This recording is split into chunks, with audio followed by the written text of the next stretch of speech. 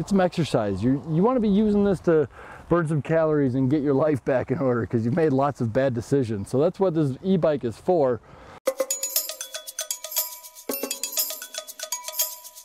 Hey guys, Johnny Nerd out here. Got another custom e-bike build for you. What we did, we took a normal, awesome, everyday bike and we turned it into an awesomer, more everyday e-bike. This was a bike that was shipped in from to me uh, to have it converted and then I'm gonna be shipping it out back to them. I think I've, I've done a few bikes like this one, but everyone's a slightly different. You'll see, I'll tell you like what makes this one a little bit different than the other ones I've done. If you're new to this channel, I convert bikes into e-bikes. So most of my channel is about videos about e-bikes, everything related to e-bikes. Let's get right into what we did to it. So put a mid-drive motor on it. It's a BBS 02, 750 watt motor. Mid-drive, which means the crank comes right here. It's powering the crank. It's adding power to your wheels, to your legs, to your pedals. And that power is getting sent to here. So the mid-drives do power multiplication, unlike a hub motor. Hub motors are just set in that single gear here, which, you know, if you live in a hilly area, not good. Do not get a hub motor if you live in a really hilly area. So we added a mid-drive here. We got a gear shift sensor here. What that does is it senses when you're shifting gears, cuts power for a minute, lets that gear get into the next, lets the chain get into the next gear, then it sends power. So it's really gonna help protect your chain, and your rear gears here from getting stripped out and breaking chains. Totally recommend doing this. It's gonna save you a lot of hassle, a lot of headache. Get a gear shift sensor if you're putting a mid-drive on. We got brakes up here, mechanical disc brakes with uh, a brake cutoff built into the levers.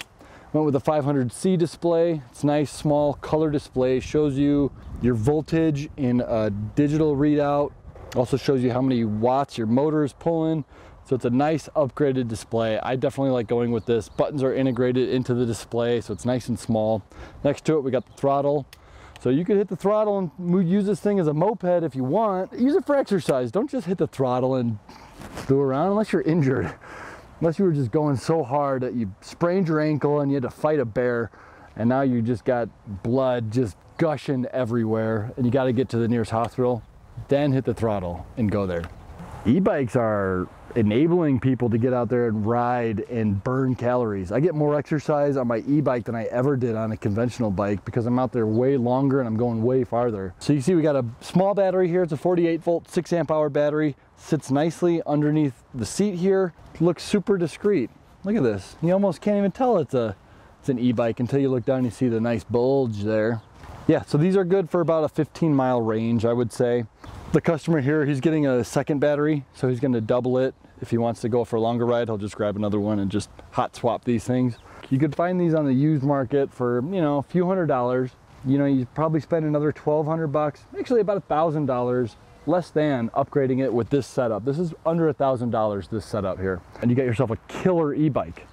Especially if you already had this in your garage, then you're spending a thousand dollars on an e-bike that will blow the pants off of any pre-made e-bike for the price, for even three times the price. This is gonna blow the pants off it. Let's go do a Johnny Nerd Out test here where I do performance tests on my bikes from a stop, climbing up a hill, from a rolling start climbing up the hill, and then just a flat out top speed test.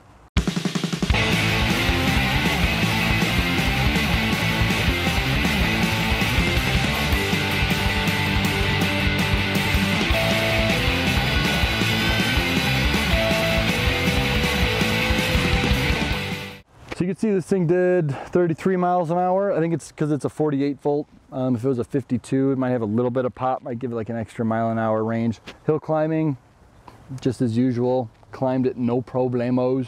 If you wanted to climb even better, go with a smaller chain ring, or you could put a bigger one up front. It's all about getting that gear ratio as close as you can to like one to one. Like if you had a 36 tooth here and a 36 in the back, thing's gonna climb like a beast. Or if you had a 44 up front, you put a 44 in the back, again, hill climbing beast. If you get it to less than one to one, you, you, end up with a wheelie machine. Like I did a 28 tooth up front one time and I had a 50 tooth in the rear. That's almost a two to one ratio. First two to three gears was just nonstop wheeling. Like you had to try to not wheelie. And I know people like, oh, wheelies aren't cool. That's not the point. You don't want to be wheeling unless you're trying to impress some eight year olds. But this thing will climb anything. And I was on a fat tire bike. So that means that that thing can climb in the snow up probably 50 degree inclines. Anyways, hopefully you guys found this helpful and yeah, see y'all later. Be safe.